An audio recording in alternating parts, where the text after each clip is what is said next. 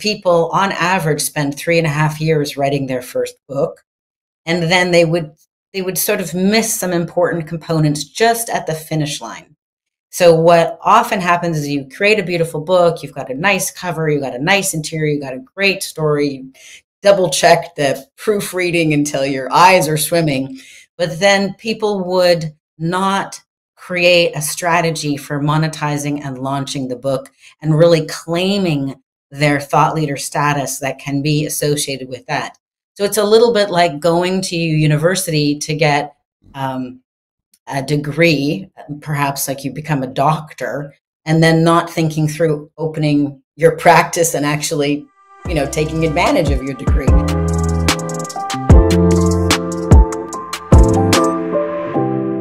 Hello, I'm John Brink, and we are podcasting on the brink from downtown Prince George, British Columbia, Canada. And for all those people watching us from around the world, they say, okay, we know where Canada is, and we think we know where British Columbia is on the west coast. Right, right.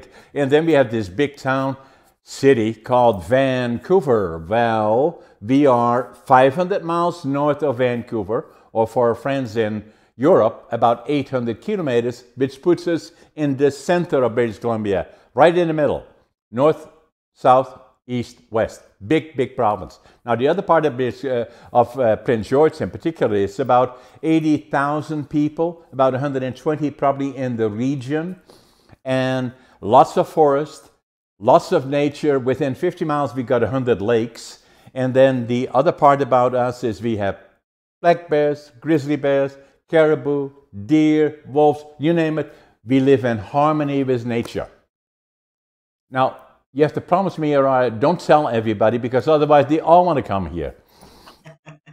So today, same. I live in British Columbia too. When we've got bears, you know, people are just friendly with the bears. You go, okay, well, there's a bear. okay, exactly. So our guest like, today is uh, Aurora Winter, and she is very, very special. Aurora is an MBA, is a successful entrepreneur, best-selling author, and we'll talk about all of those things. TV writer, producer, and the founder of uh, SamePagePublishing.com. Using her expertise in film neuroscience, she helps people tell memorable stories that build brands, books, and businesses. Experts turn to her word and wealth. Aurora, welcome to my show. Oh, it's great to be on the show with you, John, and I look forward to giving your listeners some tips about how they can turn their words into wealth. So tell us about your background because you are have a very very close connection to British Columbia. Well, I think I'm a lot like you in some ways. I'm a serial entrepreneur, seem to have that creative, ambitious uh, gene in common.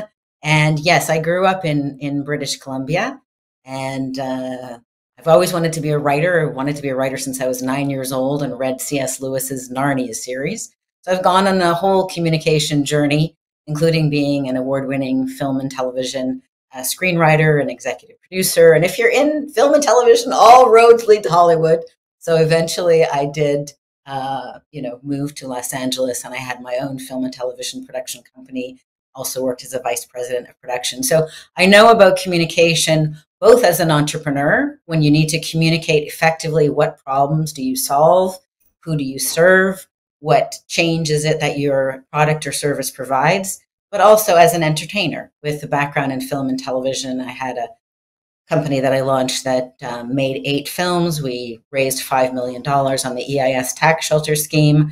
And when I was in um, with an executive working for Canada's largest film and television production company, I had a development budget, which means a budget for writers, one and a half million dollars a year. So I bring quite a few things to the table we can discuss. You, you spend a lot of time in Vancouver, right? And, and, yes. and you went to the University of UBC in Vancouver, right. uh, which is University of British Columbia. And then there are stories related to that. You met your husband, that would become your husband there, and then unfortunately he passed away at a very, very young age. So it's quite a story about your life, not just all the successes, but also the times that were really challenging. It's true. As a young uh, as a young woman, I met and fell in love with uh, a man who later became my husband. Uh, we were studying at University of British Columbia. We studied economics, and he would sit in front of me in class, and he would put his his arms over the chair so that his bicep wouldn't be. so I'm like, hmm, okay, that caught my attention. Maybe if he'd lived to be your age, you would have been doing bodybuilding competitions. Anyway, we were we were we graduated. Um, uh, studied economics at UBC. We were madly in love. He was working uh, for Xerox as a salesperson, and I was working for Urbanix Consulting in downtown Vancouver doing market feasibility studies. but we were so madly in love, we couldn't stand being apart. So we thought, well, what business can we start with no money? And because I had my father's an economist, I like I like number crunching. So I was able to do the market feasibility study of starting a new business, and we started a actually a yacht a boat rental business, a yacht charter business. And uh, we started it on Vancouver Island, just north of Nanaimo. And we, we met with the owner of Schooner Cove Resort and told him our idea. Two young kids with, you know, barely a nickel to rub together. We thought we would come and, and uh, open a little office at the marina and rent other people's boats. And my and that the dinner that we had that night at Schooner Cove Resort, before we knew whether it was a yes or a no to start the business, my husband proposed or I said yes. So then he became my husband. So that was kind of cool. Yeah. So we started a, a yacht rental company because we thought he was a sailor and I was good at crunching numbers. What business can we start with no money? Exactly. And most people only use their boat a few weeks of the year. So we uh, offered to manage renting it out for them when it was available and taking Makes sense, management. right? Makes sense. Yeah. And then later I asked a multi million dollar question. We saw in British Columbia at that time that you could um, get sig- significant tax benefits from renting real estate. And so I just wondered, well, I wonder if we could do that with boats. And after investing $20,000 with lawyers and accountants, found out the answer was, yeah, you could do that with boats. So that then became a multi million dollar business. It doubled our profit margins from 12% to 24% because we were providing not just a boat, not just a boat that could be rented and generate income, but we were also providing the know-how and the the information uh, that lawyers and accountants needed to get big tax savings. So if you bought a boat, say for $100,000, you would get a 7% investment tax credit year one, which is $7,000 credit. And then you could write the boat off at 33 and a third straight line depreciation, which was huge. I would say, yeah, no kidding. Huh? Yeah. So that was uh, one of the first businesses. We sold the yacht rental business for six figures when we were still in our 20s. And then we went on to focus on the yacht sales business, Pacific Quest Yacht Sales, it was called. And then my husband died. Completely sucked. Can I ask what happened, uh, Aurora? We were, yes, we were actually building our dream home on the lake in Whistler, which is a ski resort in British Columbia. I'm sure yeah. you know, John, but for the benefit of yeah. the listeners. And my husband was a kind of person who's like, I can figure out how to do anything, but he wasn't, he didn't have your expertise with wood and construction. This is the first home that, that he had ever built. Um, and he, we'd poured, he'd, he'd gotten the foundation, um, um, what do you call the framework for it. And then yeah. he was pouring the concrete. And the pumper truck driver was pouring concrete, and my husband was holding onto the rubber sleeve. And my husband, who was in his early 30s, said, Watch out for the power lines. and the pumper truck driver, who was like in his 50s, like, I'm not going to have this young buck tell me my business. Anyway, he hit the overhead lines with the metal arm. I heard the boom and I was five miles away. It took out the power for half of Whistler. My husband fell to the ground. The pumper truck driver fell to the ground from the kind of the boom of it. But they both got up and my husband thought he was fine, but he was not. And he died, you know, he died not that day, but a little bit later. And, uh, and it was very, very likely that the electric shock, which causes an interruption to the heart, was the cause. He got electrocuted. Exactly. I, I could have said it that way, but yeah. So he was only 33 when he died. I was 31 and our son was four. So as you can probably imagine, John, devastated. I was devastated. It totally uh, derailed me. It was like being run over by a truck. I just had never thought of that, had no plans or contingencies to, to handle that. But I had this little four year old boy looking up at me with such trust. And I had to figure out a way to make my life work and make it work for a little family that was only two people now. Yeah. And so I I did, but I suffered and I certainly had my um, dark days. But what it inspired me to do or forced me to do, if you like, is two things. One, uh, I fell to my knees and prayed because I didn't know how to handle this. And I felt like uh, being humble and asking for help to spirit and other people was part of the recovery process. And then I also used my intellect and I studied happiness. I studied grief recovery. I studied how can I get through this? How can I get past this? How can I transcend this? Emotionally, that, right? Exactly. Yeah. Exactly. And there are things to do. And later I founded a company called the Grief Coach Academy to help people systematically heal from grief. And even yesterday, it was interesting. I met with a friend who was going through a difficult time. She's got a fantastic company. She expected $15 million in funding to come, you know, a month ago. And now she's waiting, waiting, waiting. And that's such a hard place to be. So I did one of the coaching processes that I invented called the peace method with her. And she, she shifted from a discouraged place to an empowered place in just, you know, a half an hour chat. So these skills are useful for everyone all exactly. the time. Exactly. Yeah. In, all kinds of situations, right, that may happen. Uh, yours were, you know, and then I read about it in the book, and the book is this one. and I look over your shoulder, Aurora, and, and you send me your book. And as you already can see, I'm wearing it out already. I, uh, I spend a lot of time in the plane uh, going back and forth to North Saanich every day, and then I travel around North America because we do a lot of business. But I have this book always with me, and uh, you know, because you're an inspiration to me, and and uh, and and we're going to do a lot more than just reading the book, but. Uh, you know, we'll talk about that a little bit more, but I see it over your shoulder and very, very important you know so well, i'm really glad that you're getting so much benefit from turn words into wealth. I love seeing people like yourself with the book all yellow highlighted and dog-eared because it's been well read. Um, if people are interested in the coaching process i wrote about that in a different book called grief relief in 30 minutes. And you'll also see over my shoulder there for those who are watching on video i have a new fantasy series magic mystery in the multiverse is the first book. The second book is the secret multiverse academy which launching the third book on Kickstarter now. So, yeah, I like all kinds of writing, fiction, nonfiction, and I love helping people. So, you so where did the writing come from? Is it something that you was it directly indirectly related to UBC and your studies there or were you always a writer or always enjoyed writing? I always enjoyed writing. When I was 9 years old, I remember the moment that I decided to become a writer most people don't. But I was nine years old and I loved the, the Narnia series by C.S. Lewis. The first book in that series is The Lion, the Witch, and the Wardrobe. But there's several books in the series, six, six I think.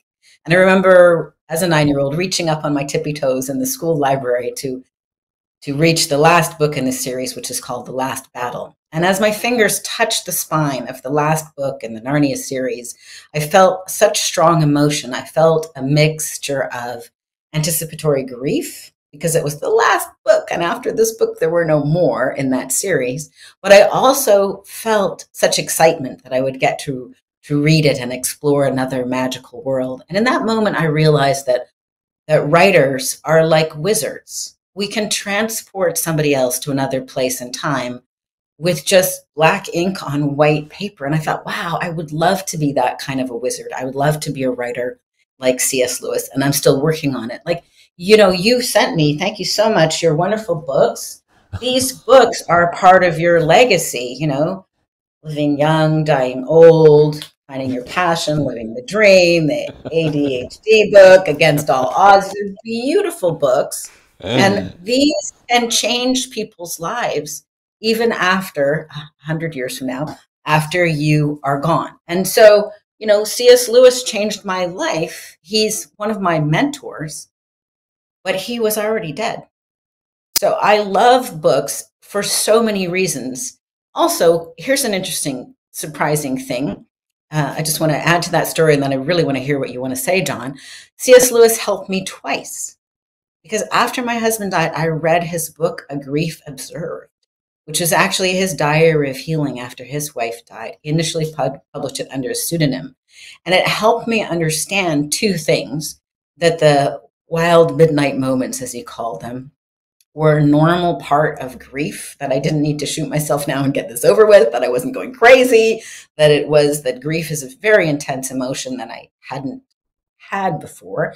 And it also um, later uh, inspired me to publish my journal of or diary of healing, which is called From Heartbreak to Happiness, which Dr. Wayne Dyer endorsed. So I love books. I think they are such a powerful way for people to bless the world. Like you've put decades of your experience into your books, and anybody could benefit from having, you know, 10 hours of conversation with you. But on the other hand, anybody can read your books anywhere around the world and get to know you intimately and benefit from all of your life experiences. So I'm book crazy. and the interesting about a book is, and that's what I find, is that the book is you. The individual is you. The best way to communicate is through a, writing a book. And, and I never fully appreciated it to the extent that you address it in turn words into wealth, not only into wealth, but all in also sharing your experiences, mine, yours, and others that write about that in particular. I'm a storyteller. That's who I am.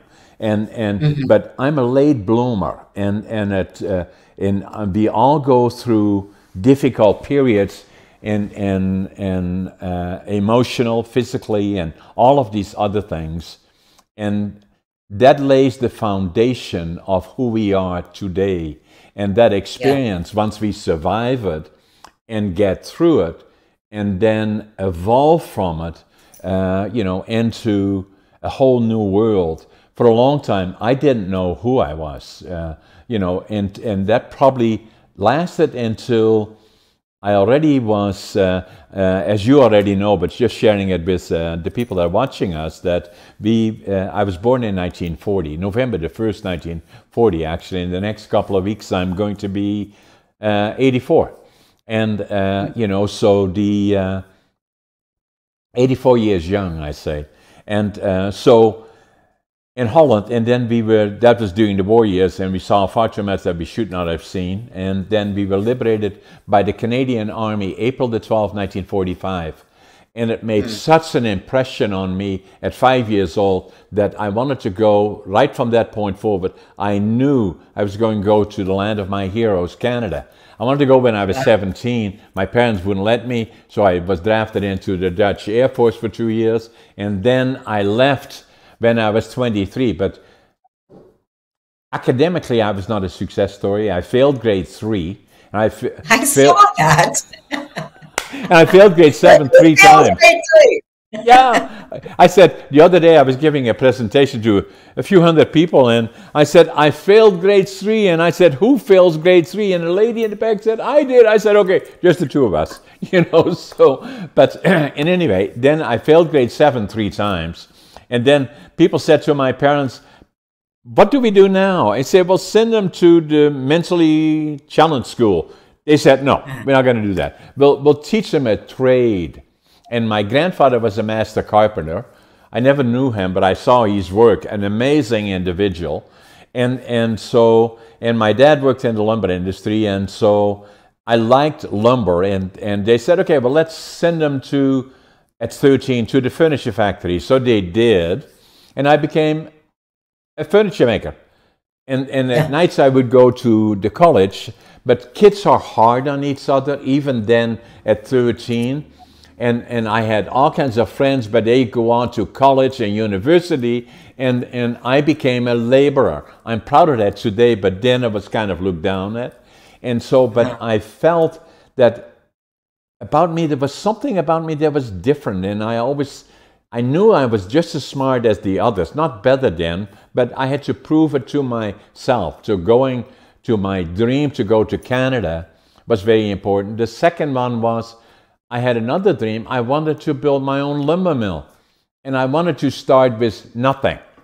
You know, so I left Holland with a suitcase, three books, two sets of clothes, and, and then very little money, and uh, flew into, couldn't speak the language, didn't know soul, didn't have any money, and then flew into Montreal, took the train from Montreal to Vancouver. My God, that is a long way. Four days, five nights. I've done that. Yeah. Oh my God. And anyway, I landed in Vancouver, went to the immigration department, Fortunately, there was a German fellow there, and I could speak some German. I told him what I wanted to do. He said, Prince George, go to Prince George. That's where you build a lumber mill. And, and oh, wow. so that's where I am today. 60 years later, I can still see the area where the Greyhound bus station used to be and where the bus arrived with my suitcase, my three books, two sets of clothes, and I counted my money at least three times. I had $25.47. But what I wow. have lots of is attitude. I've always had a positive attitude. I avoid negative. No matter how tough the day is, I'll swear it'll be a better day tomorrow. If anybody says something different, I said, don't even get close to me because I believe in that is always a better time and, and we are so lucky. And then the other thing that I had is my passion and and no matter what I do, I give it 125%. And the other one is work ethic. I work harder, even still today at nearly 84 than anybody. I get up at 5:30 in the morning. I I always make my bed, and I always think I'm late. And and so so that's what I do. And and what then, a great story. Yeah. So then I started as a cleanup man and then uh, gradually wound up within a year and a half, I was a superintendent of one of the larger mills here.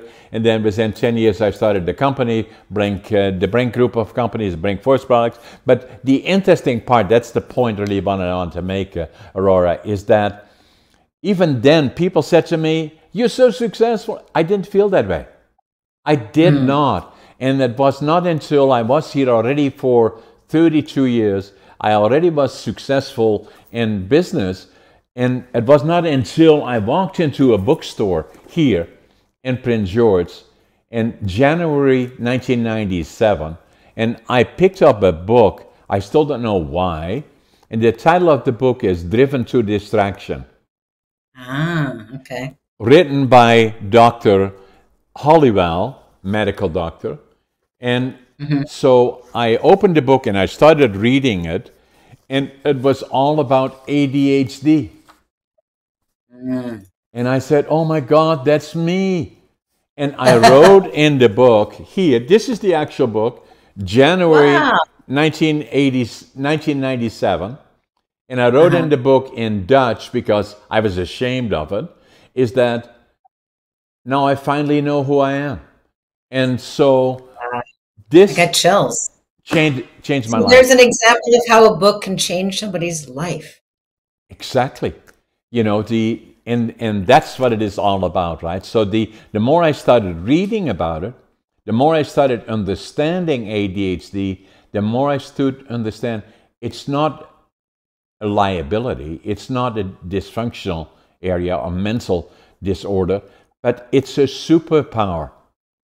And yeah. I believe that deeply. It allows me to do things differently, but still, it's in my mind a superpower. So I felt an obligation. The more I found out about it, the more I had to share with others that are struggling. That's one it. of your most popular books. Is your book about ADHD? Although I it, think the other ones need more love and marketing because uh, they're all really quite good. Where is that? Yeah, you had it in there for a minute had it in there against all. Oh, here it is. Yeah, this one. book is very popular on yeah. on Amazon. Has a lot of great reviews. So ADHD Unlocked. Check it out if you if you have it or you think you might have it or you know somebody that might have it. It's interesting at because uh, right now I my focus is I'm devoted to helping uh, thought leaders uh, create, publish, and promote their books. And what I've noticed is we usually do it by speaking. So I interview people. I've got what I call the spoken author method. And so that's easy and fun. Most people can talk up a storm. And I see that you were interviewed for many of your books. You can talk up a storm, but a lot of people are confronted when they have to type something or write something because there's different kinds of intelligence. And our school system really uh, honors mathematical intelligence and verbal intelligence. My older brother is a genius with um, scientific and mathematical knowledge. I happen to be, you know, uh, blessed in the linguistic ability. I love words. I've studied words. I'm very quick with words. But you have a different kind of expertise a different kind of way of understanding the world from what I understand, more tactile, more uh, physical. So getting hands on, doing the hands on is your your one of your core geniuses, and that just doesn't uh, wasn't respected in our school system, wasn't no. honored. I but was, uh, you know, so many people need to get their hands on it to learn. Exactly. The, the I'm I was always was very good at numbers, and uh-huh. I was a good writer but I mm. also have the ADHD and dyslexia. So the uh, same as Dr. Hallowell that wrote the book Driven to Distraction, he is ADHD, wrote 18 yep. books about it, actually five on distraction, one of the most popular individuals globally on the issue of ADHD. And actually, your, pod, uh, uh, your podcast with me is number 321 on the brink. Oh. And, and I did, after all these years, I did a podcast with uh, Dr. Hallowell, and that's oh. podcast number 203. Uh, wow. You know, with Dr. Hallowell. Can you believe it? And, and he wrote this book in 1993, and I bought it in January 1997. So the interesting part about Dr. Hallowell, up to that point, in particular, I thought that it was believed that the frequency of occurrence ADHD may be 8% in that area. And then I found, no, it's much higher than that, maybe as high as 20%. So when I interviewed Dr. Hallowell, I suggested to him, he's the expert, not me, saying that I believe that it is 20% or more. He said, no, John, it's 25% or more. Mm-hmm. And, and I agree with them. The other thing that I found is that I've been quite successful in business, being on board of directors, and being very involved uh, in, in organizations. Is that I believe also that I suggested to Dr. Hallowell that of the successful and the operatively successful CEOs and entrepreneurs, in my opinion, 50% of them are ADHD. He said, No, John, 75%. And I agree with him. you know so uh, this is what I've actually noticed, like in in my business, which helps you know entrepreneurs create books. I've noticed, like, well, I would say about forty percent of them are dyslexic or have ADHD. And I or thought, both. well, that's or both. I do, and they and these people have a different way of looking at the world. So their books are fascinating it's like that is their superpower that they see things differently. That's caused them a lot of grief because our world is not set up for people who are dyslexic or have ADHD. And a lot of times they've been shamed, you know, that they couldn't do things that were normal, but they can do things that are extraordinary. Exactly. And many of them, as you were saying, if he's saying 75% of the really successful CEOs um, are have ADHD or dyslexia. And, and one of the reasons likely is that uh, you know the for me this I did I do also audios on my book. You can well imagine it takes me longer than it does other people because of my dyslexia, but still it's important to do that. The, the other part about it is in terms of entrepreneurship or being CEOs, my training obviously is different than the people that want to universities and teach about business and blah, blah, blah, and all the other things around it. So if the box is like this on managing, because of my benefit of being ADHD, what I do is I follow the box as well, but I have a tendency of going outside and saying, how about this? Or how about that? Yeah. Why not this? Why not that? And that makes the traditional CEOs, classic taught CEOs. It makes them uncomfortable when I do that, but it makes me successful where other people are not. yeah, more of an innovator. Well, what prompted you to write four books? That's a good idea. Good, very good question. Uh, so, how it all happened is that already with this one, against all odds, I had so many people say to me, even a long time ago, 20 years ago, they, they started saying to me, You've been so successful, you should write a book about it. And I always kind of felt that I was a good writer. And, and I would start, I would stop, I would start. Now, writing books is not easy, as you know, and it involves a lot more than just writing and all the other things around it. And so, then about five, six years ago, and then I'm now in my den in my late 70s already. If I don't do it now, it will not happen. So I mm. started to write in earnest, got a team around me, and then that evolved in Against All Odds. And All mm-hmm. Odds was meant to be not how successful John is, but more about and you've read it, all about the ups and downs associated with it and staying the course. I felt I had an yeah. obligation to do that, and that's why I wrote this one. And then ADHD, uh, the second book that I wrote, this one, is that I saw so many families and young people in particular that were affected by the thought of ADHD alone and we're trying to deal with it that I felt not only speaking about it in presentations that I do, I had to write about it. And so that's yeah. why I wrote uh, ADHD Unlocked. And then after doing that, I knew I was a writer. I knew how to do it. I knew what. You it yourself two books later. I, I, discovered myself, and the next one says that, uh, you know, I wanted to write about I heard on one of the US channels that, uh, forget now which one, that of all the 75% of the people that work in the United States don't like their jobs, and I believe Canada is the same, and that 70% of the 75 are looking for another job.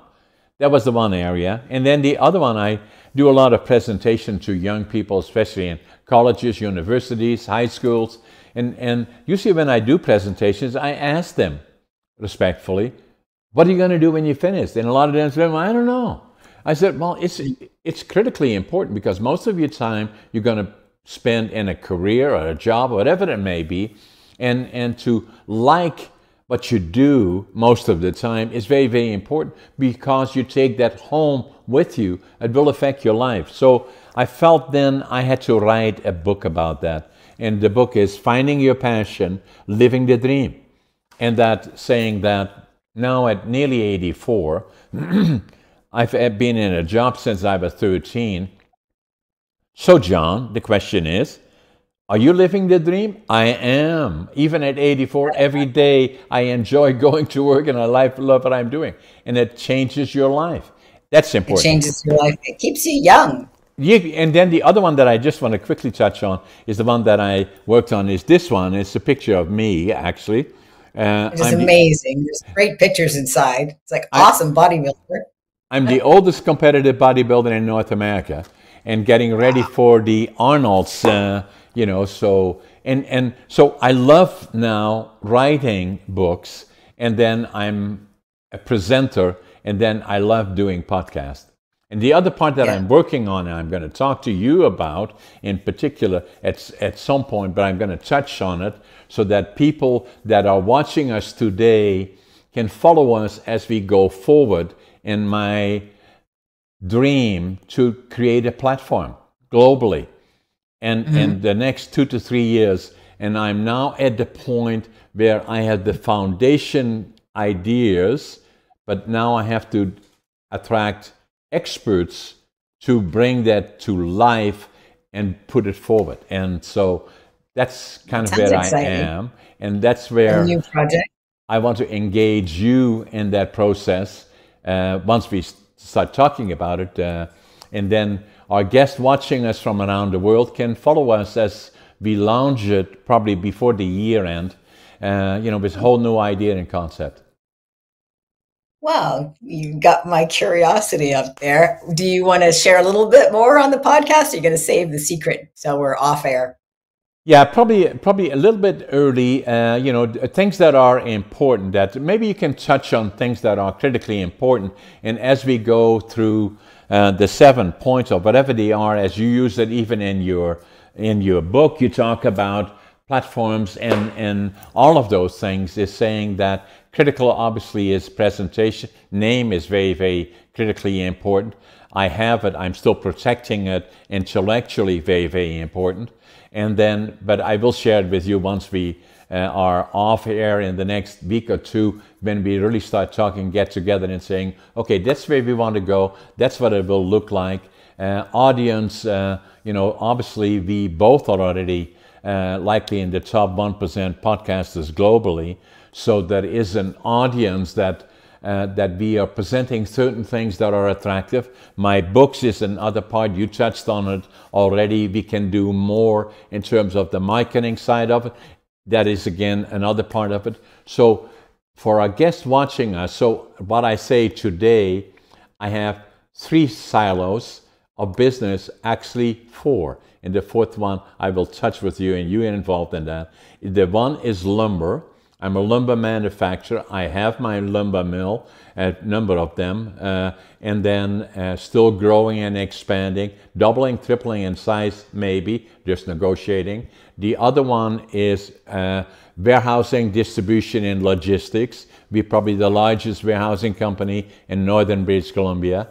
And then the other one is uh, real estate, uh, residential, commercial, and, and uh, in, in, uh, in industrial. And so we are one of the largest ones there as well. And then the next one is the exciting one I call media. That means books, speaking, platform. And, and so that is now in the process. The book's already there. And, and you will talk about how important books are to somebody that wants to present themselves to the world books are extremely important because that's you, especially when they're storytelling. I'm doing another book actually that will come out in June. It's about communications. And and my favorite topic. Yeah. So and your favorite topic. And and again, your book immensely helpful. You will be helpful in that process as well. So that's kind of where I am. That's where I'm going. So so I love this that you're in your 80s and you're launching a whole new silo, the whole media company. So let's give the listeners a little bit more of a taste of one of the reasons that I wrote Turn Words into Wealth. So I've been helping people uh, create their their message and help them grow their business for a number of years. And I, of course, as a book passionate lover, I encourage people to write books. But one of the things that was very heavy on my heart is people on average spend three and a half years writing their first book. And then they would they would sort of miss some important components just at the finish line. So what often happens is you create a beautiful book, you've got a nice cover, you've got a nice interior, you've got a great story, you double check the proofreading until your eyes are swimming. But then people would not create a strategy for monetizing and launching the book and really claiming their thought leader status that can be associated with that. So it's a little bit like going to university to get um, a degree, perhaps like you become a doctor, and then not thinking through opening your practice and actually, you know, taking advantage of your degree.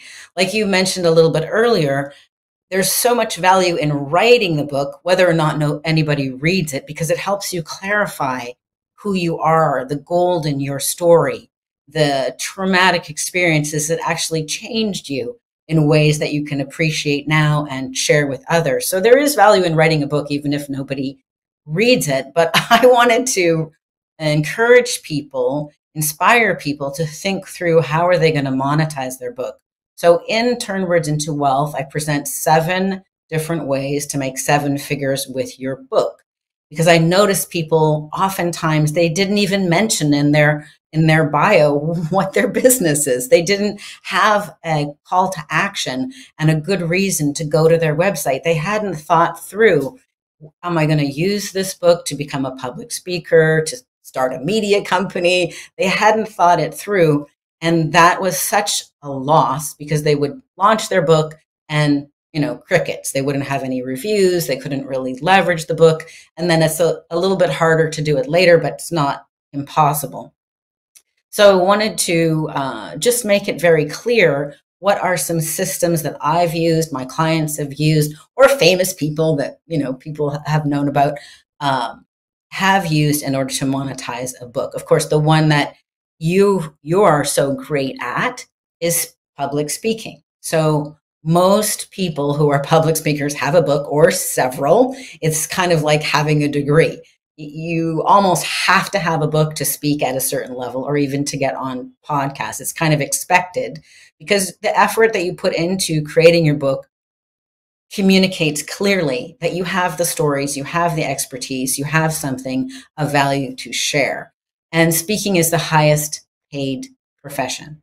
So that's one of the seven ways to make seven figures with your book. Um, another way is to attract premium clients at premium prices by being the number one authority. Now, I'm not sure if your books have helped your lumber business because that's kind of a separate silo, but I'm sure that your books have helped you as a speaker, as a presenter, as a podcast host, as a podcast guest. And now they're launching a media empire. So that's very interesting. And maybe I'll just touch on one other way. So I've written. It's a. It's more difficult to launch movies um, from nonfiction, although it can be done. So I've written these fantasy books, which are inspired by C.S. Lewis, of course, the Narnia series. Yeah. So Magic, Mystery, and the Multiverse. You know, the first book won the Reader's Choice Award, Best Book for Teens, as well as several other awards that you can see on the back here. And the second book is uh, number one a new, new release on Amazon, and number one in its category. And they've all, you know, got uh, hundreds of, of, reviews and great. We've sold, uh, know, maybe 50,000 books, something like that so far. So, but with a non, with a nonfiction book, you can sometimes pitch it to Hollywood. Uh, an example would be uh, Marie Kondo and her joy of tidying up that was a curious story. So Netflix did a TV series based on tidying up, and Marie Kondo has a nonfiction book. She doesn't even speak English as her native language because she's Japanese. But there's a, a lovely series that came out of that book, that nonfiction book. And for my fantasy series, BBC has expressed interest in turning it into a TV series. So I'll keep you posted on that one. So those are three different ways to monetize a book and turn your book, you know, into a seven figure stream of income. But I really encourage anybody who's thinking about writing a book, why not think through one or several monetization strategies? Because if you have at the back of the book, I'm a speaker, here's how to contact me, it's going to make that book so much more effective as part of your as part of your magnet, your attraction uh, process. Does that make sense? Oh, yeah, it makes a lot of sense. Uh, and that's what I like about your book that even for me, as somebody that uh, is not necessarily relying on book sales only, although it's very part, uh, important, but to read your book, Turn Words into Wealth, deals with a lot of issues that are new to me in terms of a whole different approach to not only writing books, but what it really means as a platform and how it introduces you. And then the other thing it does, this one I wrote uh, five, six years ago, and, and dealing mm-hmm. with all the things against all odds. But the other part that I got from you is that this one has been out there already for five, six years. It needs an extension because the amazing things have not ended at this point. Mm-hmm. I'm still living them today. I'm still negotiating some of the big business deals that would not even be conceivable at the time that I wrote these. And at 84, I'm still putting deals together that are amazing in the forest industry, in the warehousing, and and and uh, and the real estate, uh, as well as in the media one, because I intend to start a platform uh, that is simply not out there that has all these billions of people around the world that are having all the same issues, all the same challenges that we have, and that are still uh, I look at uh, uh, you know podcasting in particular, it's just at its infancy at this point, in my opinion. And as you and me are sitting here, you from Los Angeles, me from Central British Columbia, and be sitting here like uh, this is the first time that we met in person, but obviously we have interacted because of our books and, and having so many other similarities that, you know, there we are sitting having this discussion for an hour and you become a very, very important part of where I'm going from here on forward in success and, and having you available as an expert, hopefully, to me and where do I go from here. And at the same time, as people watch this and will watch it as it goes forward, we already know that our podcast will be watched by tens of thousands of people around the world. I know that. Well, absolutely. What's really cool about couple of things that you said are really cool. So, what is wonderful in my book, Turn Words into Wealth, I am very strongly uh, recommending that people consider independent publishing or self publishing because you own and control it. So, I think so many industries have been uh, shaken up, and the middle the middleman usually eliminated. Like, how many people use travel agents these days? You know, you you just tend not to. So the really cool thing about your media company having published your books is you can easily add another chapter or two at the end. But then what's really cool is we can publish it as a second edition with a 2025 copyright date. So it's a new book and it can be we can apply for awards, we can get some momentum. It's a brand new book with a second edition with a new ISBN and but you could basically keep 80% of the book. There's nothing wrong with the book, but just adding on to updating what's happened and with an invitation to, you know, play with you in the media silo that you're just launching, you know, as we speak. So this is a really wonderful thing. So many people still think they have to go to a big New York publisher. And I would just want to tell a couple of quick stories so that uh, people will hopefully let go of that old way of thinking. So, some best selling self published books include Your Erroneous Zones by Wayne Dyer. Sold 35 million copies. E, e Ragan, which is a fantasy book, 30 million copies. Rich Dad, Poor, da, Poor Dad by Robert Kiyosaki sold 26 million copies, a self published book. Fifty Shades of Grey was initially self published, and that's a phenomenal book. And I also want to talk about David Goggins' book, can't Hurt Me, which has generated about $30 million. He was initially told, if you self publish this book, you'll sell at most 5,000 copies. You're a loser if you self publish. Well, David Goggins is anything but a loser. And he decided to independently publish. I think that's a more accurate term than self publish.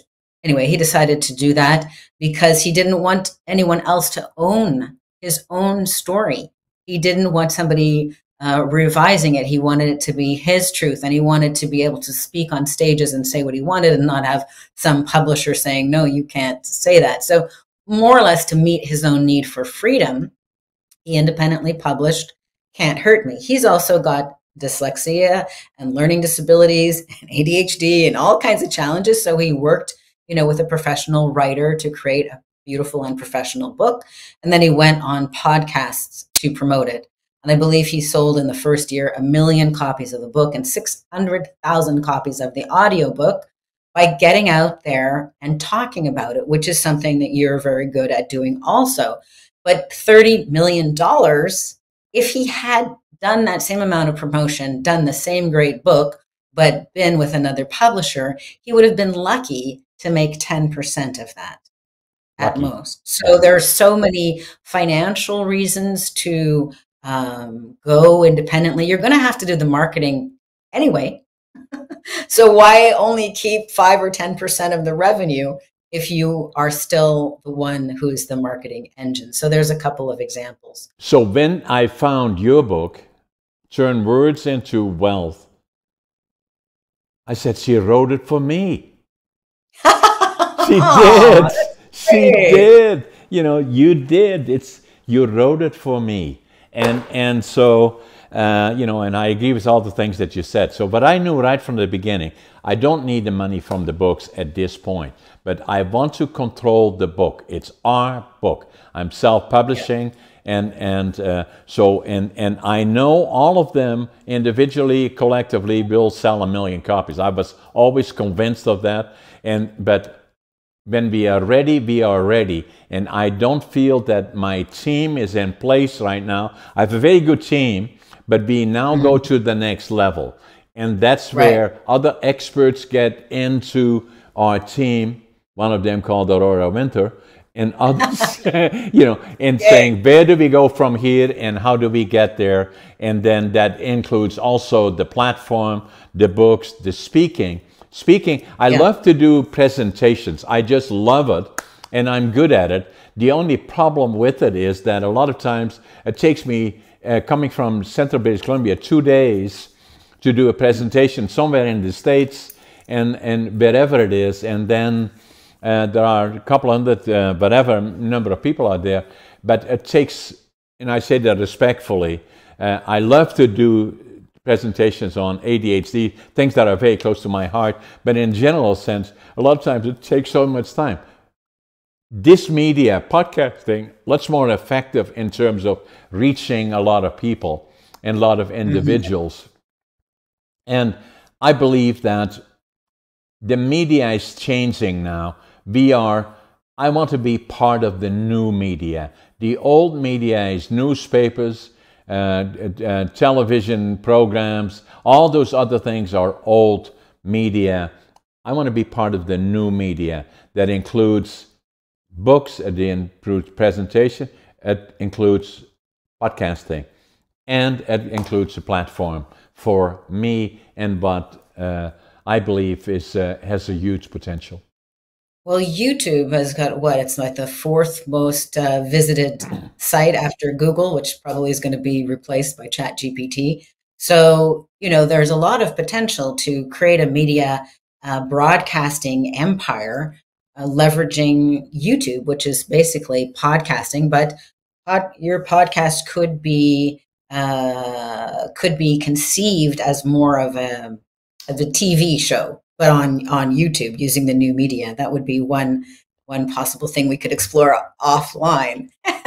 yeah. So all of these things, and for the people watching us in this discussion, you know, the uh, it started with me reading you a book, Turn Words into Wealth, and I said, "My God, she's talking about me." It gave me so much information at a critical time where we are doing well on where we are today. We are very, we are top 1% podcasters globally. And, and so, congratulations. Well, thank you. And then at the same time, I know we can go further, but if we do, we need, you know, we have a very, very good team, but we have to bring together the next level of teams. Where do we go from here? How do we get there? And that includes yeah. all the things that I'm doing. That includes the books. That do, uh, includes uh, speaking or presentations, keynotes, presentations. It includes uh, media, uh, maybe podcasting, and it includes the podcasting or the platform dealing with issues that I believe have not been fully effectively dealt with, and I believe it has huge potential globally. And, and that's exactly what we will talk well, about in the next couple of weeks. have a lot to talk about between these four books and also all the new things that you're doing. Uh, if I may, I want to share one more quick story before yeah, yeah. we run out of time to just uh, encourage the listeners and watchers to really devote a little bit more time to reading books and learning about communication and practicing communication, whether they practice it by speaking, by recording themselves on audio, by recording themselves on video, or by writing. So I love to always back up my intuition if I can get data to prove it. That's always wonderful. That appeals to the part of me that, you know, has an MBA. So there's a wonderful book called Significant Objects. And they did the perfect experiment. They took 100 distinct objects, they put them on eBay with a story or without a story. The stories were written by 100 different people. Some were professional writers, some were not and they were transparent what they were doing on eBay. They weren't deceiving anybody. Um, but some of the stories, the stories did not add hype, they added significance. So, an example would be um, somebody selling pot mitts on eBay, and they, they said the story. I, I remember coming home uh, from school and my mother bringing out chocolate chip cookies from the oven with these pot mitts, and we would enjoy you know, milk and cookies after school. And I have such a fond memory of that. Now, if you buy those pot mitts, you're not getting the cookies, but it adds significance. So as you're sharing your stories on your podcast or in your books, what difference does it make, both to you, John, and also to everybody else? So that's why I loved this uh, experiment and the significant objects book reported how much the income increased, how much the revenue increased just by having a story. Some of the stories, you know, added significance that was even negative, but it was not bland. It was not neutral. So I, I, you may have read about this in my book, but if you haven't, yeah, yeah. do you want to hazard a guess at how much the the revenue increased? Yeah, I, I, do you remember reading about it? Yeah, I remember reading. I forgot the number. Very impressive. 27 times. Yeah. So 2,700%. So most people, when I share this story, they guess, oh, maybe the income increased 30%, or sometimes they'll go on a limb and say, well, maybe it doubled. But the stories can add 27 times the revenue. So potentially. So I really encourage people that most people, most entrepreneurs, most leaders spend a lot of time thinking about their product or their service or their team, but they don't necessarily devote as much time to practicing their communication, to creating a million dollar message. You know, in the book Turn Words into Wealth, there are multiple examples of, of million dollar messages. So I really invite you to know that it's really worth your while to spend time becoming a great communicator. I like it, uh, uh, Aurora. With your book in particular, you know, I, I use it so often. I'm not a very big book reader because my ADHD and dyslexia, uh, you know, I don't read too many books. Uh, but with yours, I go through it all the time, from back to front to back, because it is so interesting in a number of a, a lot of areas. The other thing I quickly, before we end, is just going to say that my life changed when I found this book. And I knew I had ADHD. From the time I was 13, when I became a laborer, uh, in the opinion, and I questioned myself, who am I? Until I went to my doc. I, uh, this book I found when I was 57. Five years later, I went to the doc that delivered our two daughters and was a personal friend. I was 62 then. And he said, Hey, John, why are you here? I said, I think I got ADHD. And we checked out, I do. So the point that I'm making, for nearly 50 years, I struggled with ADHD and questioning who I was. And only mm-hmm. then, when I read that book and found out my life changed. So, from the time that I became an author, a, a, very effective speaker, a podcaster, I was already 62 years old. But so, mm-hmm. and then the other part about it is that this only happened when in 2008 I had a case of diverticulitis nearly killed me, and I thought I have to do more about. Uh, uh, you know, this is virtually another podcast, but I, that kind of triggered me. Health and diet and exercise is important. All of that happened virtually after I was 60. So for wow. people that said I'm too old, no, you're not. You're never too old. That is in the mind. Stay the course, and and then uh, you know that there is always time. Aurora, we'll have to stay in touch. We'll talk after uh, we end the, uh, this podcast a little bit about you and me in terms of when we get together. For all those people watching us from around the world, make sure buy the book and uh, you know the and uh, you know the subscribe to our podcast both for Aurora and for myself share it, like it, make comments on it, and then uh, you know keep watching our podcast. And uh, Aurora, it was a privilege, and I was so looking forward to this podcast with you and me. I get so excited about it. So uh, again, thanks for being on my podcast. We'll talk a little bit after we end this podcast. Yeah, may I just leave the gift for the listeners? If they go to turnwordsintowealth.com, or samepagepublishing.com, they'll get five free videos about how to attract capital, clients, and media coverage, and they'll get the ebook of Turn Words into Wealth. So that's my gift for your listeners. Thank you, Aurora. My privilege. Thank you, Thank you again. Take care.